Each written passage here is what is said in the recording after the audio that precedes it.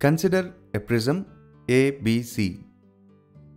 A prism is a piece of transparent material bounded by three rectangular surfaces forming a triangle. Let AB be the surface of the incidence and BC be the base of the prism.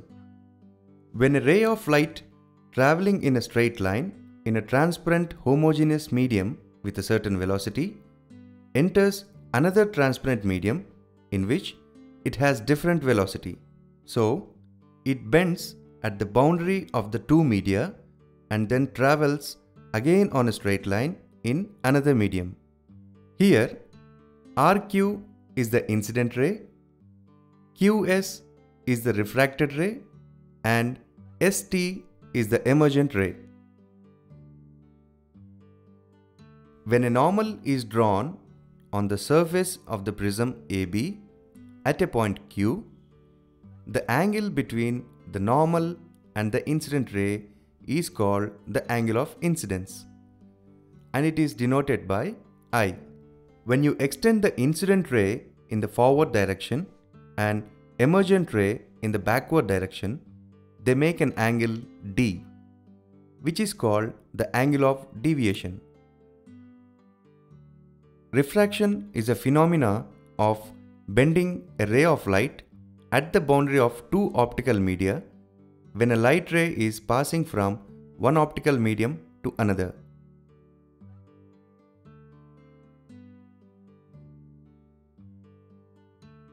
Aim To determine refractive index of a material of a prism by ID curve method. The apparatus used in this experiment are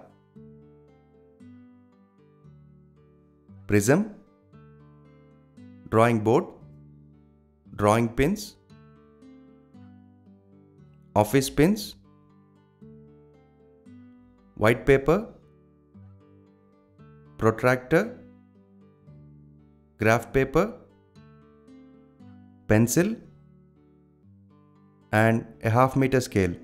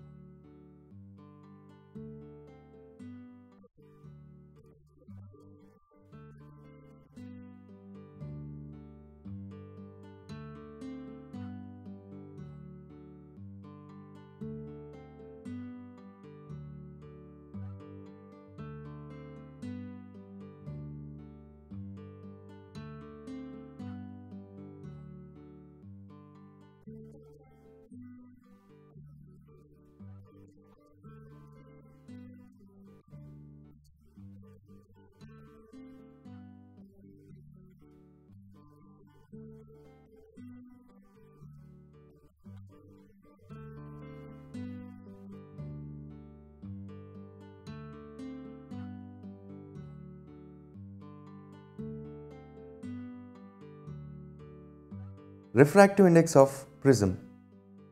Observations.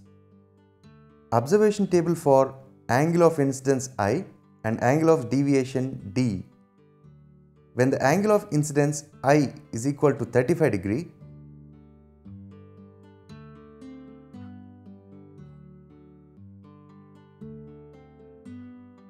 the angle of deviation D was 46 degree.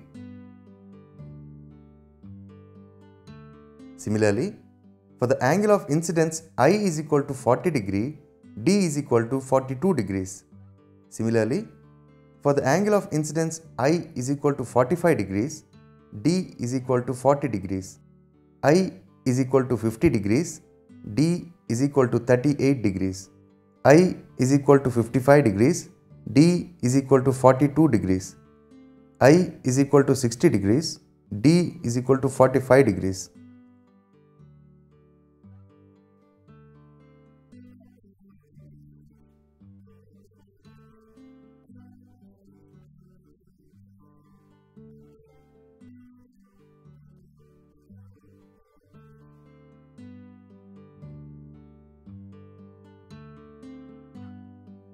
Using the values of i and d, we plot a ID graph.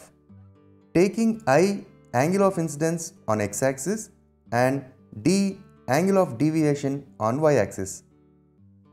We select a suitable scale on x-axis 1 cm is equal to 5 degree, on y-axis 1 cm is equal to 5 degree and origin is 30 degree, 30 degree. Now, let us plot the points on the graph. For x is equal to 35 degree, y is equal to 46 degree. x 40 degrees, y 42 degrees. x 45 degrees, y 40 degrees.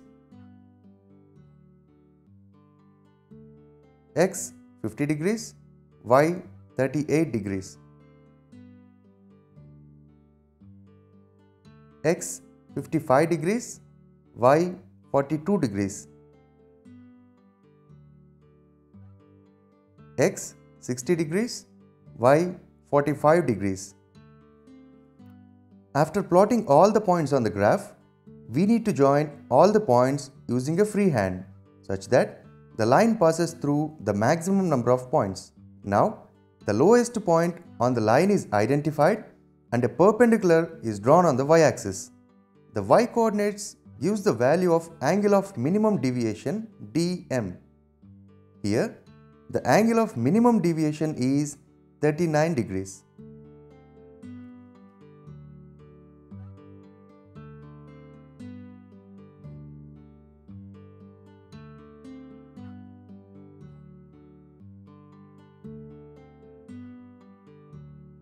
Angle of prism. Fix a white paper on the drawing board with the help of a drawing pins. Now, place the prism on the paper and trace its edges and mark the corners as A, B, C. Draw two parallel lines such that A lies symmetrically between them.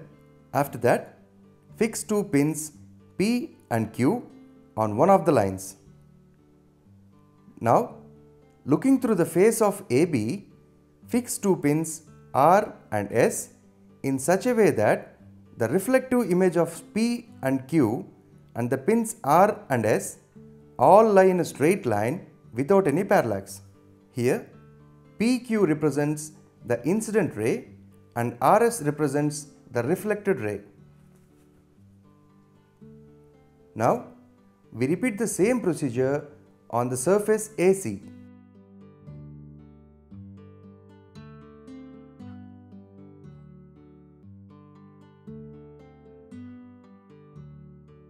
So that the reflective images of EF and pins GH all lie in a straight line without any parallax.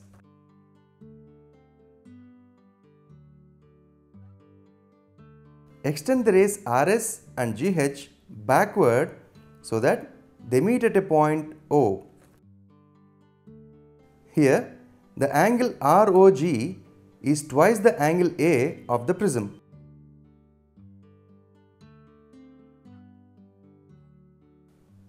Here, angle ROG is equal to 120 degrees and the angle A is equal to 120 by 2 which is 60 degrees. Therefore, the angle of prism is 60 degrees.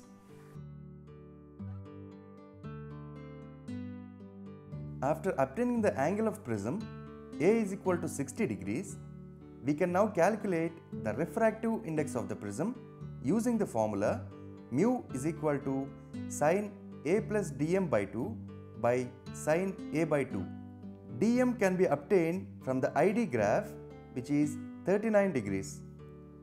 Therefore, mu is equal to sine 60 plus 39 degrees by 2 by sine 60 degrees by 2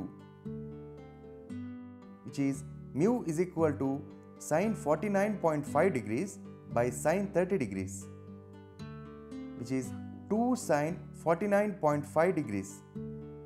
Therefore, mu is equal to 1.520.